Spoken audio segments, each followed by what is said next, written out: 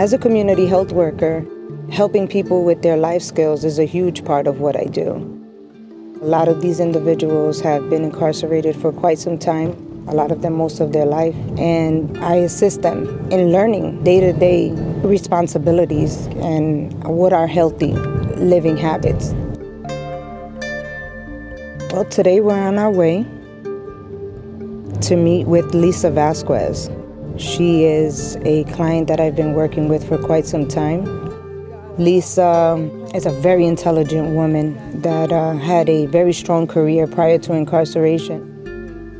And we are going to go today to the farmer's market, which she enjoys. She said that she's felt a big difference in her health. All right, so I'm going to get some parsley and I'm going to get some of that. A bunch of parsley and a bunch of... I'm Corin Carbuccia. I'm a community health worker for Lifespan Transitions Clinic. I grew up in New York. At about the age of 19, I came to live in Providence, Rhode Island. My intentions were to go to college, and unfortunately, my life took a different turn.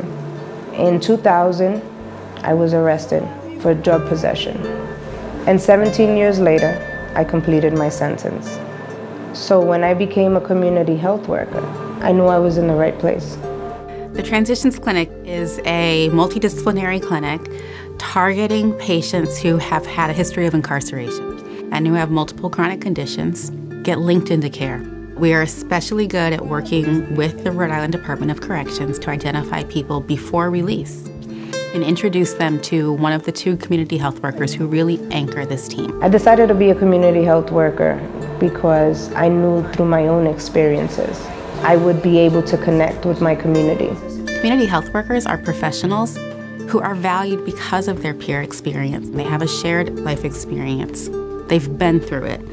In Lisa's case specifically, I was assisting with being her support for hepatitis C treatment, housing, sobriety, job search, which you would think is quite enough in itself, just for any individual.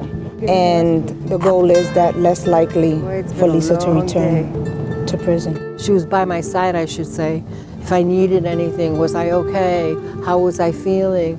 And she stuck by my side, and so did the doctor, and here I am. It's important for me to connect the people I work with, with medical providers, but it's so much more than that. I lead by example. When they see me, they see I can get that job. I can try to make amends with my children. It's the best thing that ever happened to me in my life. Because look at me, I'm healthy now. I'm also the population I serve. I'm just the outcome.